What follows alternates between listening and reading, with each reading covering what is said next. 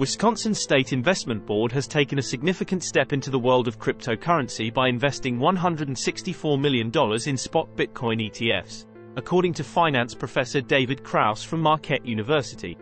This investment, comprising BlackRock's iShares Bitcoin Trust and Grayscale's Bitcoin Trust, marks an innovative move by the board, known for its forward-thinking strategies.